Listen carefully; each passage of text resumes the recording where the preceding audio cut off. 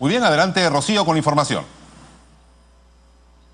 Gracias Álvaro, efectivamente como sabemos del 16 al 30 de abril se está realizando una exposición fotográfica aquí en la Plaza Simón Bolívar, esto en homenaje a los héroes y defensores de la democracia, organizado por la Presidencia del Congreso de la República y a propósito del vigésimo primer aniversario de la operación Chavín de Huántar. Pero para que nos dé mayores detalles sobre esta, esta exposición fotográfica vamos a conversar con la señora Ana Cecilia Garzón Pérez. Ella ha sido miembro del grupo especial del GEIN y es conocida como Gaviota. Pertenece al programa Terrorismo Nunca Más de la Oficina de Participación Ciudadana del Congreso de la República. Bienvenida a Congreso Televisión para que nos cuente un poco en qué consiste esta exposición fotográfica que se viene desarrollando aquí en la Plaza Simón Bolívar. Bueno, buenas tardes. Este, esta exposición, la Presidencia del Congreso está organizando esta exposición porque se cumple el 21 aniversario del Chavín de Guanta, que fue de la Embajada de, Japón. Este, estamos, eh, están participando diversos este, eh, eh, instituciones como es la, las Fuerzas Armadas, que es la FAB, el Ejército y la, Marina de Guerra, eh, la del COTE, el mismo Chaví de Guanta, los comandos, Chaví de Guanta, lo que es la parte también de participación ciudadana del programa Terrorismo Nunca Más y este, se ve donde hay exposiciones donde a los, a los alumnos se les está ah, contando eh, parte de, lo que cada, cada, cada institución está qué hace, ¿no? En el caso mío, que pertenezco al terrorismo, nunca más, yo soy, este, estoy dando mi testimonio de vida a los jóvenes y hacerles conocer la, vivencia que hemos tenido en las épocas de los 80 de terrorismo, de la sangre que todos los días teníamos, voladura de torres, era coche bombas, era este, apagones, que andábamos con vela y que no se podía caminar. Que hoy en día ellos viven en apogeo porque ahora sí tenemos un buen mall,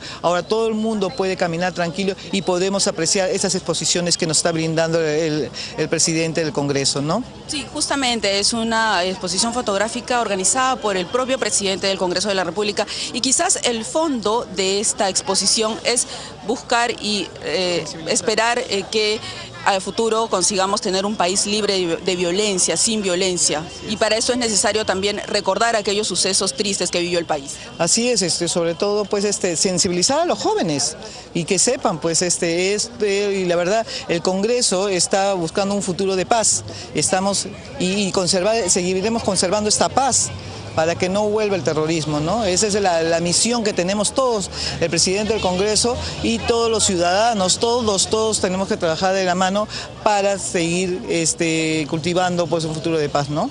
Como hemos mencionado a lo largo de esta transmisión, esta exposición empezó el 16, el día lunes. ¿Cómo ha sido la acogida del público aquí? bueno, ha sido muy acogida, sobre todo por los estudiantes que están viniendo de todos los lados de, acá de Lima y también algunos de provincia, y realmente tenemos buena acogida y preguntan bastante, que eso es muy bueno, eso nos incentiva a nosotros porque estamos trabajando y estamos llegando a, los sitios, a los colegios, y tienen la curiosidad de preguntar, y entonces eso es bueno, nos satisface que nuestro trabajo, el trabajo que se nos ha inculcado el presidente del Congreso, estamos llegando a ellos, ¿no? Y además que coinciden en que también quieren un país sin violencia. Exactamente, porque ellos ven que realmente ahora sí pueden gozar y entonces, y realmente ayer justamente me tocó con unos alumnos y, y la verdad que ellos no sabían y una de ellas se pone a llorar y me da gracias. Y dime tú, para mí es reconfortante decir que vale la pena que valió la pena el sacrificio y que vale la pena seguir adelante porque yo tengo un compromiso con ellos y ahí están los resultados. Eso qué mejor para nosotros es satisfacción y se debe sentir, todos nos sentimos orgullosos pues ahora hacer pues esas exposiciones ahora que van a dar a conocer y con, mayor razón van a abrir más sus mentes y saber qué realmente ha pasado. ¿no? Justamente esta exposición va a durar dos semanas, pero la fecha central será el día domingo. ¿Qué actividades se van a desarrollar ese día? El día domingo es a las 10 y media, es una misa este, oficiada por el cardenal Cipriani y, este, y a las 12, 12 y media creo que esa es eh, la, revelación del busto de Jiménez y de mm, el señor Valer. Entonces este, van, a, van a revelar el busto, ¿no? Y ahí... ¿La ceremonia estará a cargo del propio presidente de la República? Está a cargo, sí, yo creo que sí, que está a cargo del presidente de la República y del presidente del Congreso y van a estar todos acá, va a haber una ceremonia, ¿no?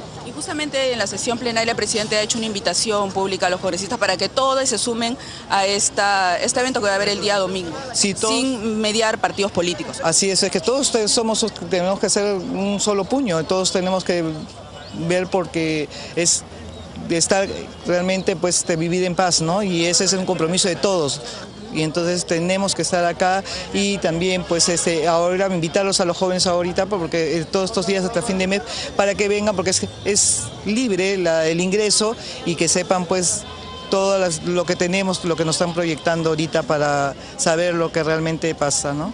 Muy brevemente, ¿quiénes participan en los diferentes stands?